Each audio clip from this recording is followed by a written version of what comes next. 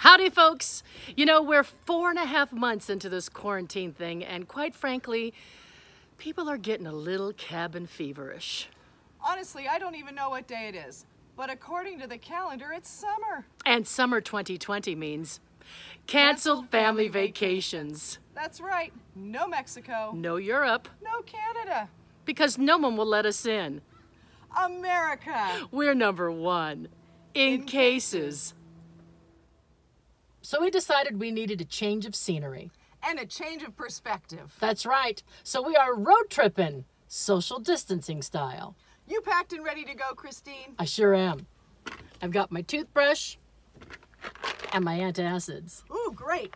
I brought along bug spray and a pound of bacon. We could be gone for months. That's right. Let's do it.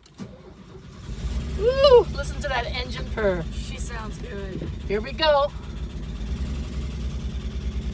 Boy, sure feels good to be behind the wheel, doesn't it again? I bet it does. Oh, reminds me of all those family vacations. Oh, and those classic family car trip conversations. Yeah, like, are we there yet?